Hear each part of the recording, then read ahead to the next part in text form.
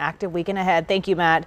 Phoenix Sky Harbor is getting $36 million in upgrades. That's according to Arizona Senators Mark Kelly and Kyrsten Sinema. The grants come from the Infrastructure Investment and Jobs Bill. That's led by both of those senators.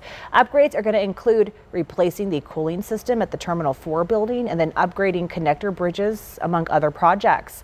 In a statement released today, Kelly says in part, this investment allows for crucial renovations to Phoenix Sky Harbor, upgrading one of our most important economic drivers and ensuring Arizonans have access to safe and reliable travel.